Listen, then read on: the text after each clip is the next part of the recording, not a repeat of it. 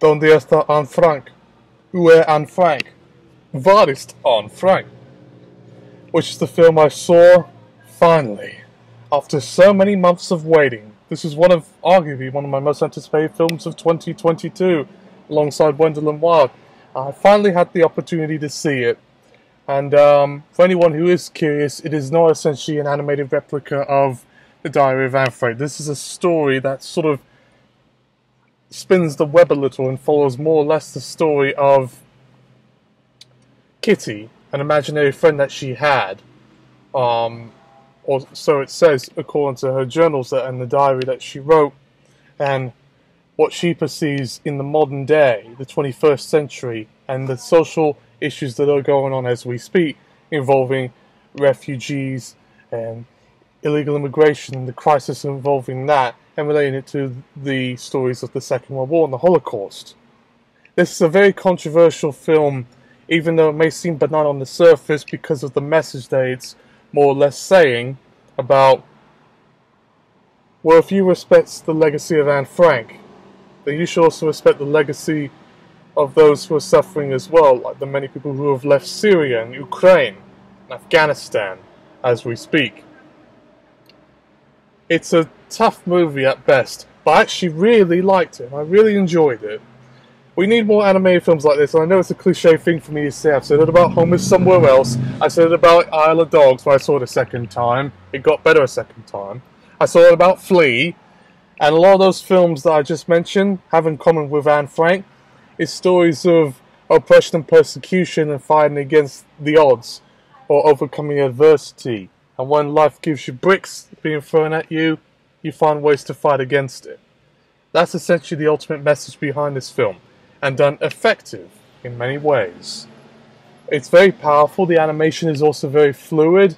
Um, you definitely feel for the characters that are involved. I didn't feel like it was jittery like Flee, or at best too glitchy and or glassy like um, an Annecy film that I saw earlier on called The Island, which had very important messages, but I, I didn't connect with it. But I did connect with this.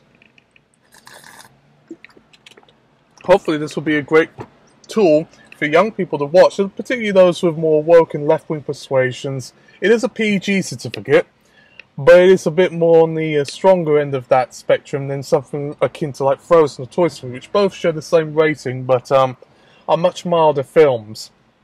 Um, not only do we get references to Holocaust and Nazi Germany and persecution, uh, implicit deaths, and then implicit implication of a cow being butchered, as well as references to anti Semitism. There's also a few bits of bad language and references to the sexual experience, albeit done that most young teenagers or older kids who have went through sex ed at like 11 or 12 would not be unfamiliar with.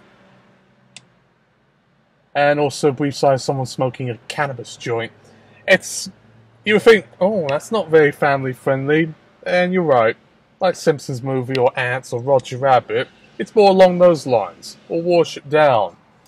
If older kids can handle it, I'm sure you can too. This is not quite Waltz with Bashir, which is a film that is done by the same person who did this as well as Le Congrès, or Le Congress. Ari Folman, um, who hails from Israel, but unlike most um, people who are from Israel that I'm aware of, he is not afraid to speak his mind about political and social issues.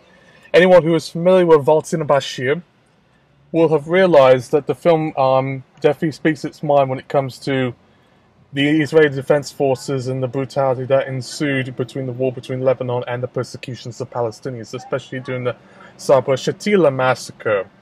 And to see Palestinians suffering even to this very day, where there was even a film made about it many years ago called Paradise Now, is quite disturbing. Um, many people who are of Palestinian persuasion will probably won't see this because they'll think this is just Jew propaganda, but I, I think something can be made of this because it's definitely, if you put it into your own context, a similar story about fighting against the odds and persecution from within, not just from Israel, but also other Arab countries who want to instill extreme amount of Sharia law to where they have to leave. And then they get further discrimination from other European forces like you know, France, and Italy, which have seen far right candidates win elections and gain so much power. Even in Ukraine, there were many foreign language students that had to leave the country because of the ongoing war that was going on with Russia. And they were even discriminated against when they try to get through past Poland and Romania and Hungary. Try to flee for their safety as well as the safety of the Ukrainian men, I'm sorry, the Ukrainian women and children that had to leave. So it's caused a lot of problems. And I think this is probably the most potent film you could imagine. And the ending it, it didn't make me cry, but it will certainly make some people cry, especially if they get the message across. I mean, in a way that reminds me of films like The Snowman or When the Wind Blows, or even Folman his his own work, Waltz in a Bashir, if you get the idea. Powerful stuff. My favourite film of the year so far, I would say. Skinny Media signing off until next time. Keep on watching and uh, smell the coffee.